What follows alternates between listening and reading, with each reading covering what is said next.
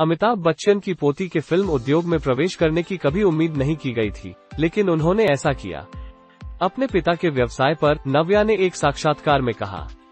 नव्या ने अब एक नए इंटरव्यू में खुलासा किया है कि उनका कभी भी अभिनेता बनने का इरादा नहीं था। नव्या अमिताभ और जया बच्चन की बेटी श्वेता की बेटी है।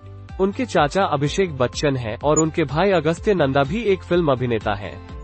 नव्या ने बरखा दत्त के साथ एक इंटरव्यू में रिकॉर्ड सही किया। मुझे नृत्य और अन्य गतिविधियों का आनंद मिलता है, लेकिन मैंने इसे करियर के रूप में कभी नहीं माना। मैं हमेशा से ज़्यादा बिज़नेस माइंडेड रहा हूँ। मेरी चाची और दादी दोनों काम करती थी। वे पारिवारिक व्यवसाय में भी शामिल थे। मेरे पिता और दादा सहमत होंगे। वो हमेशा मेरी पसंदीदा दुनिया थी। मैं नंदों की चौथी पीढ़ी का पदभार ग्रहण करने वाला भी हूँ। मैं उस विरासत को जारी रखना चाहता था और अपने पिता को उनके प्रयासों में समर्थन देना चाहता था। परिवार की महिला होना और उसे आगे बढ़ाना भी गौरव का विषय था।